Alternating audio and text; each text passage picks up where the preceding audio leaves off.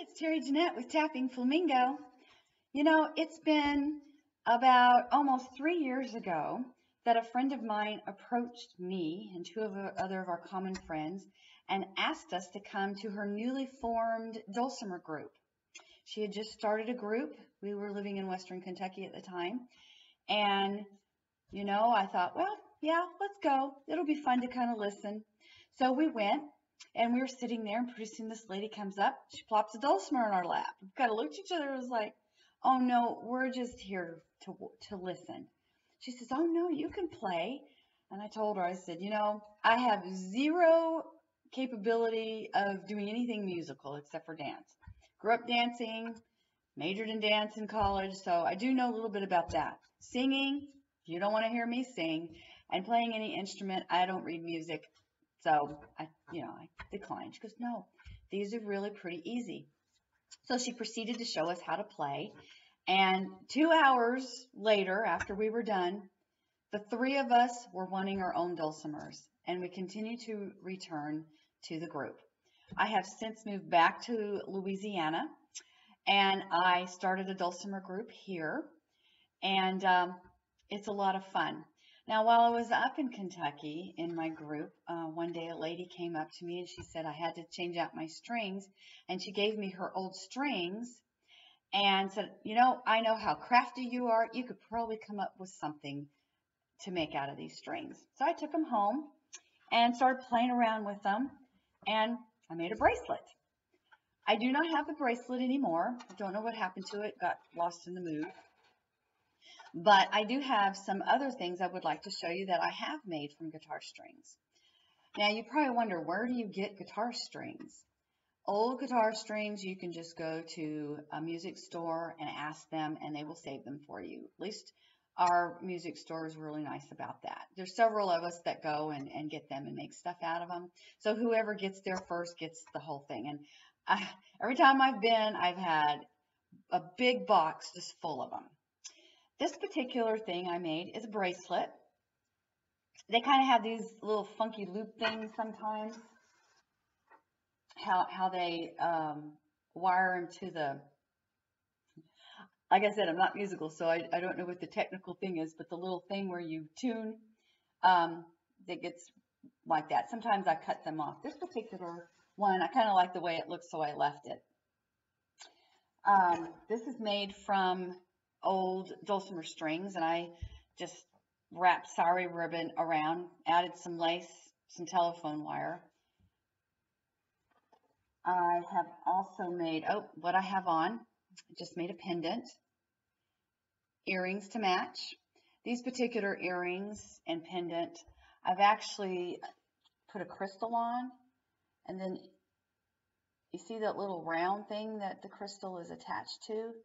That's actually another uh, way that they attach guitar strings or strings to your instrument. And I, again, I don't know what they're called, but I use them. Sometimes I leave them on. Uh, this particular uh, bracelet that I'm going to show you, I actually cut it off and I've used it as a bead.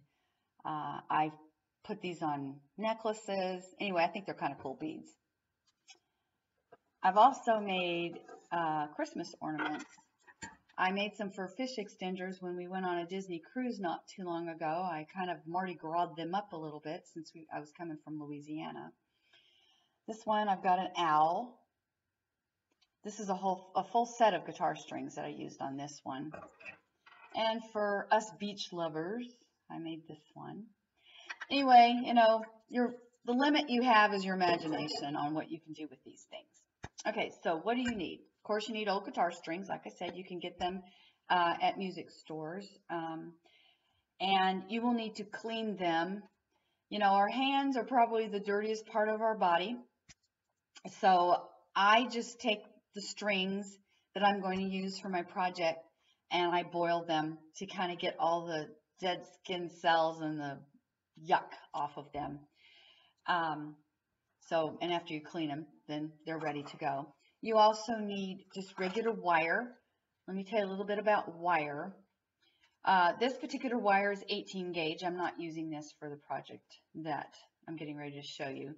I just wanted to show you the difference. 18 gauge is thicker than say 20 gauge.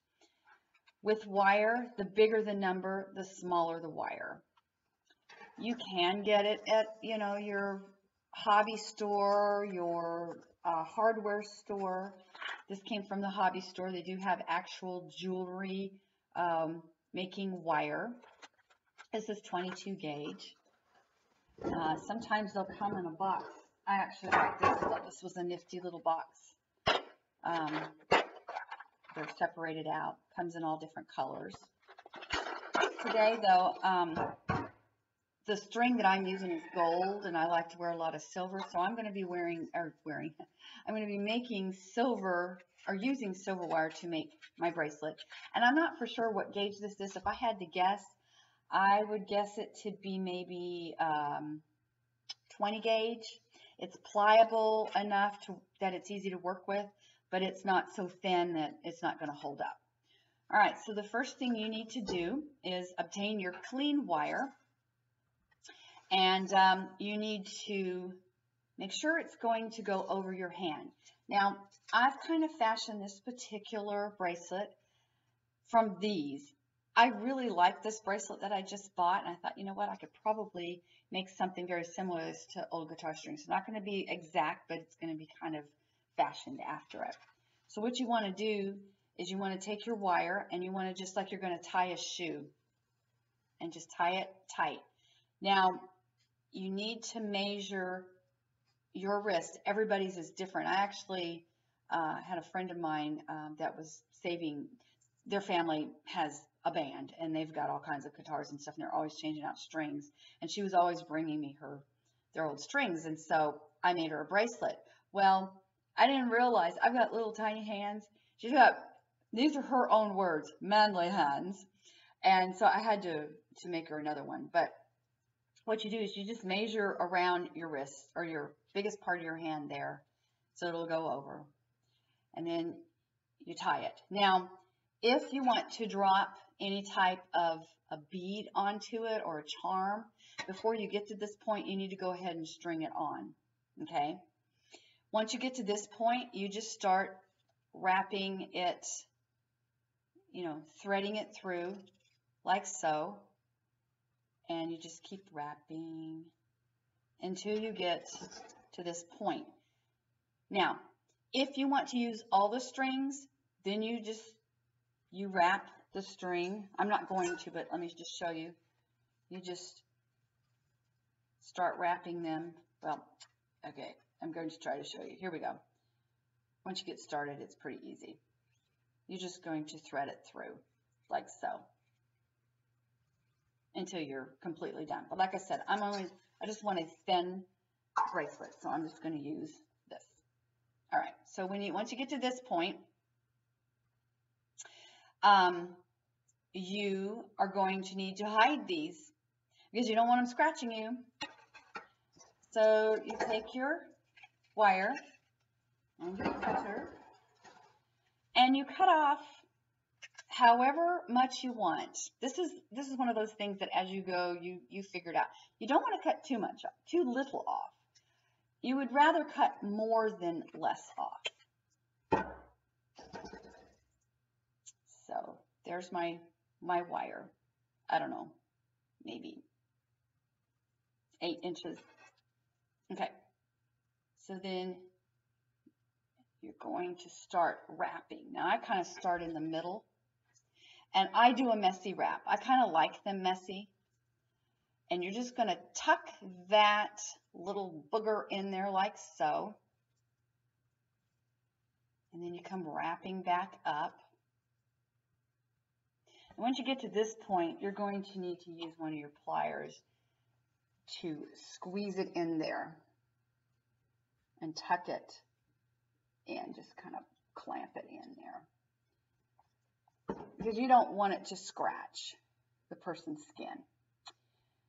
Now, again, your imagination can go wild and you can go up and down or whatever. I'm just going to stay right here and just wrap these a little bit more.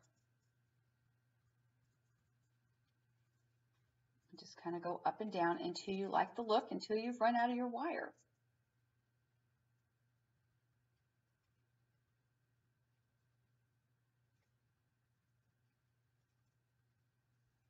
Okay, once you get to this point again, you got that little part sticking up.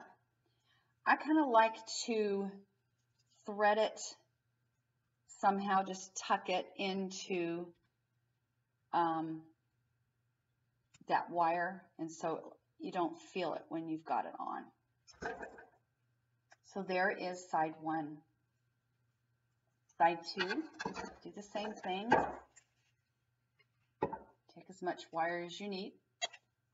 More is better than less because if you got less, you don't want to necessarily have to have make possibly four ends that you need to tuck in.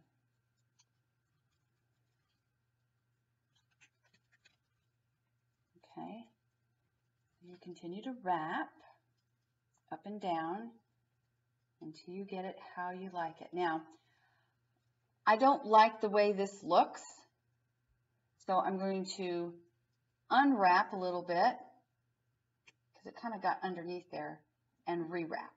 That's okay. We are human. As my sister says, we are not machines and we're going to make mistakes. Okay. Again, you got this little piece here you want to tuck under.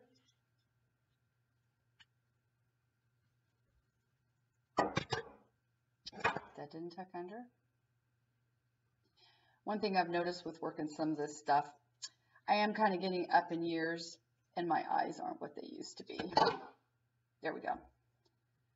And as you're wrapping, you can match this or not. I like things a little different. I, I like the unexpected. So I just kind of wrap it the way the wire goes. All right, we're almost done here. Tuck in your little end. Make sure it's not scratching you. And you're done with your bracelet. Stick it on. And there you go. By the way, I just want to show you this one bead. That is one of those little um, attachers. I don't know what they're called. I used it to um, put on one of my beads. But anyway, that's how you make a guitar string bracelet. You can use the same idea to make your ornaments and your earrings and your pendants, whatever. Um, let me know what you think. Post some of the pictures that uh, maybe you have um, of some of the projects that you have come up with with your guitar string jewelry. I would love to see them. Anyway, this is Tapping Flamingo signing out for now. I hope you have a wonderful day.